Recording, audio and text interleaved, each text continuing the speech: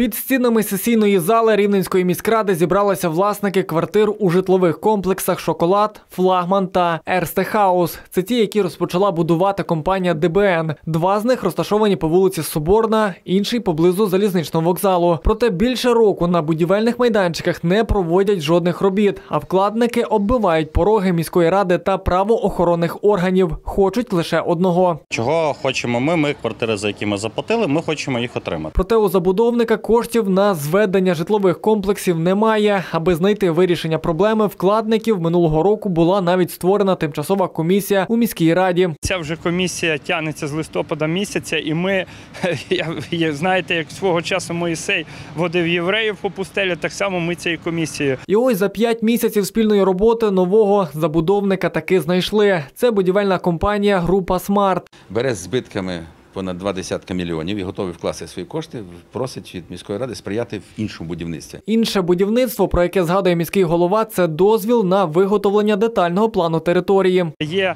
його приватна земля, тобто таки відбудеться ченч, якщо депутати дозволять, даний забудовник розпочне і завершить будівництво за умови, якщо депутати дадуть е, добро на розробку детального плану території в гідропарку в районі вулиці Ботанічна. Таке рішення мали прийняти уже сьогодні, аби нагадати про свою проблему. Вкладники і зібралися під стінами сесійної зали. Наші депутати, я гадаю, зобов'язані це зробити, тому що є більше ніж 300, 300 сімей, в яких ну, немає житла.